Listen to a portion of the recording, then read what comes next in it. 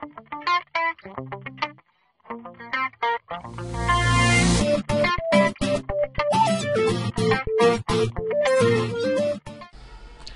people, this is Mohit once again uh, with yet another tutorial on uh, Adobe Flash CS5. This time uh, I'm going to teach you how to make a Flash preloader.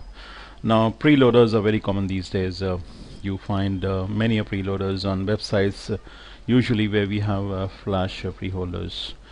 You know there may be an animation coming up but before it actually hits the screen the the uh, specific spot on the page may display a bar running from left to right or you may see something uh, circular you know mm, going uh, clockwise or anti-clockwise telling you that uh, please wait for some time and uh, there's a picture going to come up at this uh, specific spot that's a preloader. I think as we go along you'll get a better idea what a preloader is. So let me start. Usually when we start a project in Flash we tend to click uh, on ActionScript 3 under create new but this time uh, we will go under create from template and hit sample files. Thereafter the second last entry preloader for SWF I'll say okay. Okay guys. Now Flash uh, provides me a stage. It uh, gives me a ready-made actions uh, layer uh, where we have the action script. We have a content layer where um, some content is supposed to go and we have a backgrounds layer. The background the stage the uh, darkish grayish um, background. So basically uh, flash gives us almost everything. We just need to tweak it and uh, we'll have a very nice uh, looking preloader. Let's first uh, uh, replace uh, the large content text with an image. I'll say file I'll say import import to stage. Mm, go into my library pictures sample pictures um, pick up tulips they look really nice romantic. 550 by 400 uh, I've changed the size and in doing so it's aligned to the stage. The stage is also 550 by 400 perfect. Okay now let's actually uh, do a publish preview of the thing. Mm, okay. Uh, you'll be surprised. You you probably thought uh, you should be able to see a preloader but actually just uh, it's the uh, the tulips on the face uh, so what went wrong? Uh, we need to actually simulate the download to see uh, how it would uh, actually perform there. You see that uh, loading sign now. I'll show it again.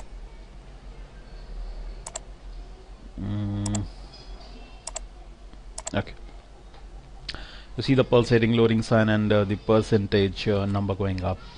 And then you see the picture so this was the preloader that Flash gave us but there is no bar. There is uh, no circular wheel uh, sort of a thing doing circles. So um, it's not so so it's, it's, just an average kind of a preloader a pulsating and uh, you know incrementing text kind of percentage text kind of a preloader.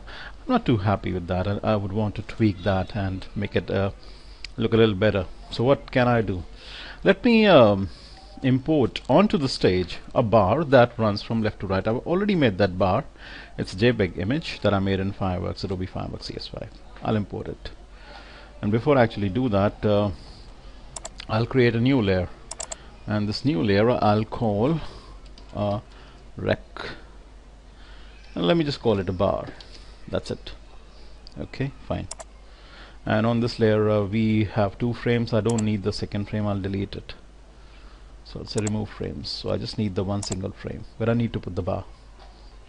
So file import import stage. Uh, from the desktop I pick up a ready-made JPEG image of a bar. Take it slightly up. Uh, this should be fine. Okay. And now I am on the actions layer. I click on the first frame. Go inside actions where all the action script the ready-made action script is there and I'll uh, just tweak it add one single line and we are done. Okay guys so uh, bar period or a full stop scale capital X space equals space mm, loaded. So I'm telling flash to uh, scale the bar and make it equal to loaded. And this loaded is a variable which is controlled via this line.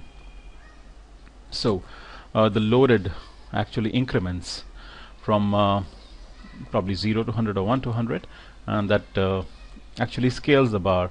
It's small when it starts off kicks off and then it uh, goes the the full length from left to right. But what exactly is the bar here?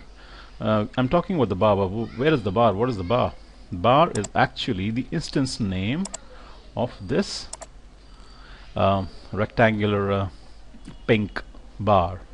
I'm yet to give it uh, um, uh, instance name but uh, when I give it I'll, I'll, call it bar. First of all let me convert it to a symbol registration point I'll accept as the middle left. That's fine. I'll say OK and the instance name so that ActionScript can actually um, call uh, this specific uh, pink rectangle we'll call it bar. Okay? Okay guys so if everything is fine this uh, preloader should should work uh, great. Let me take a publish preview say flash and uh, we need to simulate the download.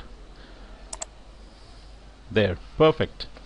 So uh, the bar runs from left to right gives us uh, uh, a very nice idea how much of you know the picture has loaded and once uh, flash understands that the picture is loaded uh, completely. The preloader has done its full length and pop comes up the image. Boom. Okay guys thank you so much for uh, watching my tutorial. I hope you learned something and enjoyed it too. Have a good day. Bye bye see you next time